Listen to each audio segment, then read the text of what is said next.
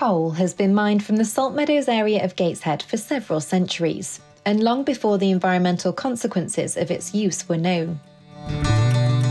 The underground features miners created are now full of water that contains geothermal heat. In 2017, Gateshead Council commissioned their 4 megawatt heat network. This uses gas engines to produce electricity and heat for customers connected to the network. In 2019, the council planned to grow the size of their network while reducing carbon emissions. They contracted the Coal Authority to undertake feasibility work to see if the mines beneath the town could provide the additional heat required by an extended network.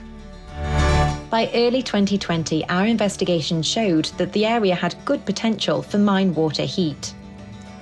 Gateshead Council procured local company Drilcorp Limited to undertake the drilling work, which was supervised by Coal Authority staff.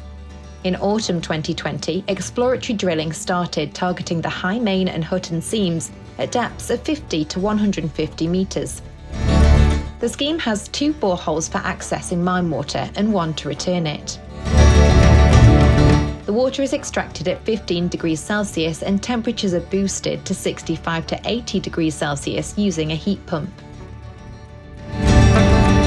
In 2023, the scheme was commissioned and now provides up to 6 megawatts of heat to a range of municipal, domestic, and commercial customers.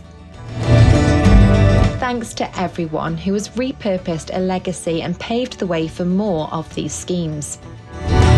And a special thanks to the miners who spent their lives building a wealth of underground networks.